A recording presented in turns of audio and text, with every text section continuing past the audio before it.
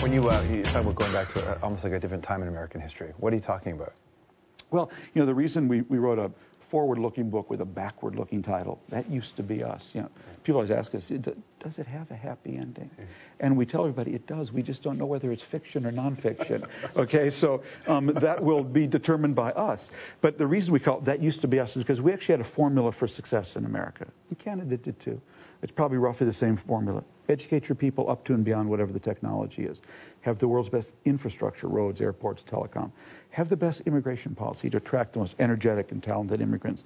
Have the best rules for investing to prevent recklessness and incentivize risk taking. And last, have the most government funded research. Yeah. That actually was our formula for success. And if you look at what's wrong with America today, you look at all five, the arrow's pounding down on all five.